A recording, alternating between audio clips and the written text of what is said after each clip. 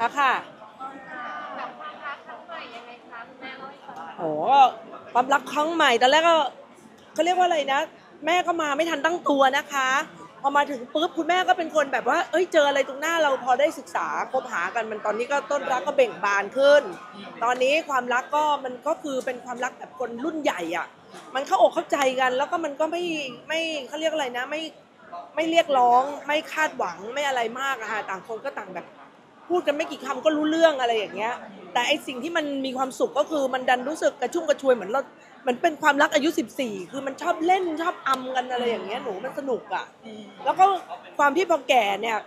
มันมุกมันแพรวๆกันทั้งคู่ไงเรายิงกันนั่นยิงกับยิงกลับมาสนุกเล่นอยู่กันแล้วมันขำกันทั้งวันมันก็เลย มันทำให้ความรักมันไม่น่าเบื่อตรงที่มันมีความสุขเพราะมันมันมีบทสนทนาอะไรที่มันเป็นแบบสนุกสนานนะคะเป็นเพราะพี่ไมโลรู้จักกับเรา มานานแล้วหรือเปล่าเขาเลยจะแบบ spark joy กันมันเป็น spark กันยังไงเออ มันอย่างนี้คือถามว่าเขาเคยรู้จักกันมาตั้งแต่เด็กๆ สมัยมัธยมเขาเขาแต่เขาเนี่ยก็จะชอบผู้หญิงหลายแบบหลายคนนั่นแหละ แต่เราก็ยืนหนึ่งใน memory ของเขาอย่างนี้ใช่ไหมฮะ แล้วก็แบบเขาบอกว่าแต่เราเนี่ยจะแปลกก็คือทุก ทุกๆกี่ปีเนี่ยต้องต้องเวียนมาเจอกันเวียนมาเจอกันโดยบังเอิญตลอดเราจะไปเจอเขาข้างนอกตรงนั้นตรงนี้ทุก ๆ กี่ปีจะเจอเขาบอกพอจะลืมก็กลับมาอีกแล้วพอจะลืมก็กลับมาอีกแล้ว อะไรอย่างเงี้ยอืมแต่ก็ยังไม่สปาร์กนะก็เขาอะชอบเราแต่เราอะด้วยความที่เราสวยเราก็เลยมีผัวที่เป็นพ่อเด็กมาตั้งแต่เด็กแล้ว หมายถึงว่ามีแฟนนะนะมาตั้งแต่เด็กก็มีแฟนมาคนเดียวตลอดใช่ไหมฮะเขาก็บอกว่าเออเขาก็ไม่ได้มีช่องทางจะเข้ามาพอเขาเราเลิกกับสามีไปช่วงนั้นเขาก็ยังอยู่กับครอบครัวเนาะ พอเขาเลิกกับเอแฟนอะไรอย่างเงี้ยไม่ใช่ภรรยาเลิกมาแล้วเขาก็เลยแบบเขาไม่ได้อยากคุยเขาอยากจะปรึกษาอะไรเงี้ยพอปรึกษาคุยกันไม่กี่คำมันก็เป็นแบบมันสนุกดีอะคุยสนุก มันมาจากการคุยสนุกแล้วมันความสัมพันธ์มันเกิดจากการแบบเข้าขาเข้าคอกันอะคุยแล้วมันแบบเจตนามันไม่ได้มีแบบ มันเหมือนอย่างเวลาถ้ามีใครมาจีบเราเราจะระวังตัวยิ่งเราแก่เนาะเราจะเฮ้ยมันเขาจะมาทำไมหนึ่งเราเราแก่แล้วสองเรามีลูกแล้วก็สามเราก็คือแบบ มันไม่ได้เป็นอะไรที่น่าพิศวาสขนาดที่แบบโอ้โหสวยหน้าเข้ามาดึงดูดเราไม่เราไม่ได้อยู่ในในสเปคอะไรอย่างเงี้ยนะฮะทำงานทำอะไรต่างๆ แล้วก็บุคลิกอะไรก็ไม่ค่อยได้หวานหวานๆเหมือนผู้หญิงเราก็เลยแบบเออไม่ได้คิดว่าตัวเองจะจะมีแฟนแล้วร้อยเปอร์เซ็นเลย ก็ยังพูดกับเพื่อนว่าไม่ต้องห่วงอะยังไงเราก็อยู่กันในหมู่เพื่อน แล้วก็ดูแลลูกกันไปอะไรอย่างเงี้ยค่ะแต่แต่พอเขาเข้ามาเนี่ยมันเกิดจากครั้งแรกเราก็ไม่ได้เปิดใจว่าเป็นแฟนนะมันเหมือน มันมากกว่าเพื่อนอะมันไม่ใช่แฟนอะ คือแต่มันคุณเป็นคนคุยสนุกเหมือนเราอยู่กับเพื่อนสนุกเหมือนขอโทษนะน้องเหมือนอยู่กับเพื่อนกระเทยเหมือนอยู่กับเพื่อนผู้หญิง คุยอะไรกันบ้าๆบอๆมันก็เลยสนุก ก็เลยชอบคุยกับเขาที่บอกว่าตอนแรกที่ไม่เปิดใจ แต่ว่าก็ไม่ได้มีกำแพงถูกไหมคะสำหรับพี่เชนุถามว่ากับพี่ไมโลไม่มีแต่กับคนอื่นมี มีหมดเพราะใครมาคุยอะไรแปลกๆเหมือนจีบพี่ก็ตัดทิ้งเลยใหม่กับบล็อกไปแบบอืมไม่เอาอะไม่เชื่อ แต่ทำไมถึงคบเขาเพราะเรารู้จักมาตั้งแต่สมัยมหนึ่งเรารู้จักว่าบ้านเขาอยู่ที่ไหนคุณพ่อคุณแม่เขาเป็นแบบไหนคือ รู้จักเทือกเขาเหล่ากอกันมา พอสมควรว่าเออมันไม่ได้เขาก็คงรู้ว่าชีวิตเขาดำเนินมาเป็นยังไงก็ก็แบบไม่ได้มันจะมาหลอกเราหรออะจะเข้ามาวัยนี้มันคือต้องการอะไรใช่ไหมฮะก็เข้ามาแบบเพื่อ คบเล่นๆเราก็แบบเป็นมีเป็นเพื่อนไปซะดีกว่า ไม่ได้อะไรอย่างเงี้ยแล้วก็มันแปลกตรงที่ความสัมพันธ์ระหว่างเรากับเขาเนี่ยตั้งแต่เด็ก ๆ ถ้าเป็นเพื่อนผู้ชายก็จะมึงมาพาวโวยชัดเจนกัน แต่กับเขาเนี่ยตั้งแต่เด็ก ๆ เราก็จะไม่พูดจาแบบเหมือนเขาเป็นเพื่อนผู้ชายกันมาแต่แรก แต่ก็ไม่ได้เป็นแบบชู้สาวอะ แต่มันจะแปลกมันเหมือนคุยมีระยะเขาก็ไม่ค่อยกล้ามายุ่งกับเรามาก เราก็ไม่ได้ไปสนิทอะไรกับเขาอะไรอย่างเงี้ยด้วยความที่เราเป็นคนระมัดระวังตัวแบบเออจะเปลี่ยนสถานะเราเราคิดเยอะไหมคะโอ้โหโอ้โห พอจะเปลี่ยนสถานะเนี่ยอย่าใช้คำว่าคิดเยอะเลย พี่ปรึกษาทุกวงการว่างั้น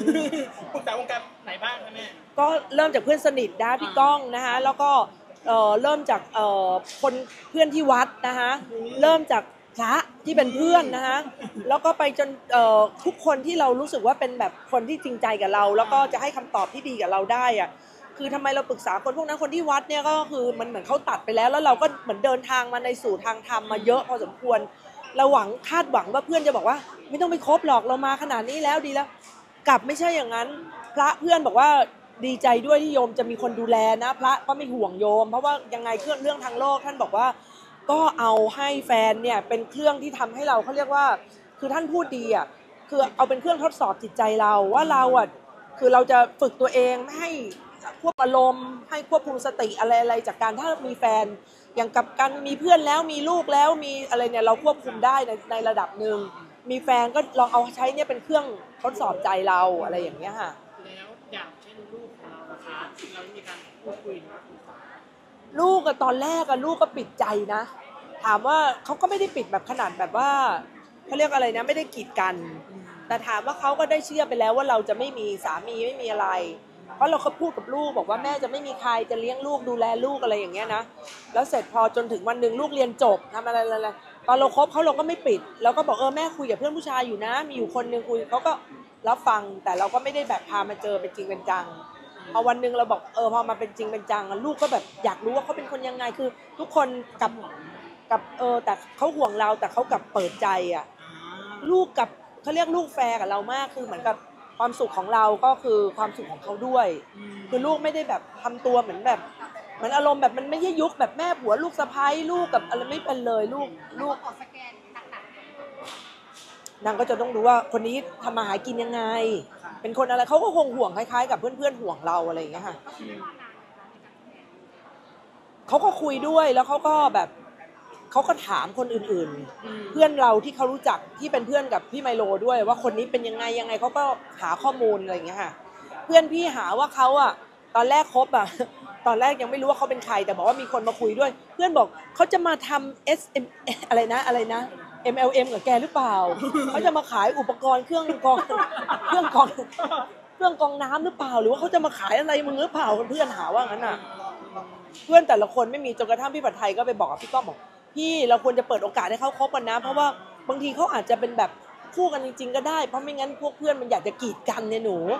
มันเหมือนกับแบบกลุ่มเรามันเหนียวแน่นนะพอคนหนึงหลุดไปไม่มันต้องไปแย่งคืน หลายด้านอยู่เหมือนกันนะเนี่ย หลายด่านพอทุกอย่างปลดล็อกก็คือ14ครั้ง อะไรนะลูก พอทุกอย่างปลดล็อกก็คือสี่14คครั้รั้งงเหมือนมีครั้งครั้งแรอ๋อกสี่สิบสี่ครั้ง ได้ยินว่าสิบสี่กุมภาใช่คือคือก่อนหน้านั้นแล้วเราก็ไปเที่ยวกันสองคนไปไอ้นู่นไอ้นี่น่ะนะฮะอะไรอย่างเงี้ยก็แบบคือส่วนใหญ่ชอบที่รู้จักกันก็คือสนิทกันเพราะว่าไปเดินออกกำลังที่ที่สุวรรณภูมิ เพื่อนก็ยังอำกันพี่ก้องบอกว่าถ้าเกิดคู่นี้แต่งงานกันเนี่ยจะทำแบบว่า เออเปิดตัวเป็นลู่เดิน อะไรอย่างเงี้ยของเขาอะรักกันเดินใช่ไหมรักกันเดินเดินเดินออกกำลังพาเขามาออกกำลังกันอะไรเงี้ยแก่แล้วว่าหนูไม่มีแต่เรื่องออกกำลัง มีแต่เรื่องกินยา มีเรื่องหาหมอที่คอยห่วงกัน ล่าสุดก็เพิ่งไปตรวจร่างกายกันมาจับมือกันไปตรวจร่างกายใช่สองปีละอะอะไรนะลูกไปหางานแต่งจัดไม่จัดนะไม่จัดทำไมเราถึงมองว่าเราถึงจะไม่จัดงานแต่งนะแม่ทั้งที่แบบมีความรักที่แบบสมบูรณ์แล้ว ขอบคุณนะทุก ๆคำอวยพรที่พอรู้ว่าเราคบกันน่ะ มันก็เหมือนกับคนได้มาอวยพรเราทั้งคนใกล้ชิดคนแบบทั่ว ๆ ไป แล้วก็พี่ๆน้องๆสื่อมวลชนที่แบบเอาข่าวไปออกอะเราก็แบบขอบคุณว่ามันเออมันเป็นเป็นเป็นเขาเรียกอะไรเป็นเสียงตอบรับที่ดีแล้วก็พอแล้วเราพอใจแล้วอะค่ะเพราะนั้นการจัดงานแต่งงานคุณพ่อคุณแม่พี่ก็ไม่มีเหลือแล้ว เพื่อนก็รับรู้หมดแล้วสังคมก็รับรู้หมดแล้ว เราก็เลยไม่รู้ว่าเราจะจัดงานทำไมอะก็เหมือนกับทุกคนอวยพรเราไปแล้วอะ ไงคะได้ได้เดี๋ยวคุณแม่จัดตามงานวัดอะไรอย่างเงี้ยปิดแบบปาร์ตี้แบบนั้น มีเป็นแบบว่าไอ้นั่นให้เลยแล้วคนความรักครั้งนี้มันเปลี่ยนมุมมองกับเราไหมโอ้โอ้จริงๆหนูพูดอย่างนี้ก็ถูก ความรักครั้งเนี้ยมันเปลี่ยนมุมมองของผู้หญิงวัยแบบ50พี่56ย่าง57เนาะอยากจากคนที่แบบว่าเราเชื่อว่าชีวิตบ้านปลายเราจะไม่มีใครแล้วล่ะ เป็นคนอยู่คนเดียวเป็น เป็นซิงเกิลมัมเราก็จะต้องสละตำแหน่งนั้น เพราะว่าลูกเติบโตขึ้นพี่ไม่เกาะลูกแล้วหมายถึงว่าไม่ไม่ไปยึดเขาอะค่ะแล้วเพราะนั้นเนี่ยเราจะต้องอยู่คนเดียวก็ทำทุกสิ่งทุกอย่างเพื่อจะพึ่งตัวเองพอมีความรักที่มันกลายเป็นเปลี่ยนมุมมองให้เราเห็นว่า เออ คุณค่าของการมีชีวิตอยู่ ไม่จำเป็นที่เราจะต้องไปนั่งขีดข้อจำกัดให้ตัวเองว่าฉันจะอยู่แบบไหน ฉันจะเป็นยังไงอะไรอย่างเงี้ยวางแผนคร่าวๆได้นะคะ แต่ว่าสิ่งที่มันจะเข้ามาในชีวิตน่ะ แค่เราเปิดใจยอมรับ แล้วก็เราทำตรงหน้าให้มันดีที่สุดอะ เหมือนอย่างพอเขาเข้ามาแล้วเรามีความรักแล้วคือมีคนมารู้สึกดีมันไม่พอเขาแสดงว่าเขาแคร์เขารักเรา แล้วเราได้แสดงความรักตอบมันมันมีมันมีคุณค่าต่อความรู้สึก คือมันเป็นความเชื่อมใยกันอะเออมันมันมันดีอะค่ะแล้วถ้าเกิดเราเราแก่แล้วอะสิ่งที่มันดีก็คือเรามีสติแล้วเรามีปัญญา คนที่เข้ามามันต้องไม่หลอกเราเนาะแล้วมันเป็นความรู้สึกจริงใจอะถ้ามันเป็นแบบนั้นจริงๆอะมันจะทำให้ความรักที่ดีมันเกิดขึ้นกับชีวิตแล้วมันทำให้เรามีกำลังใจอะค่ะ ถึงความหวานเนี่ยค่ะ ความหวานที่หวานหวานเนี้ยค่ะ เพื่อนๆว่ากันยังไงบ้างคะแม่โอ้ยอย่าอย่างหนูมันพูดไม่ดีเลยอะหมายถึงว่าก็เซลล์ๆถูกไหม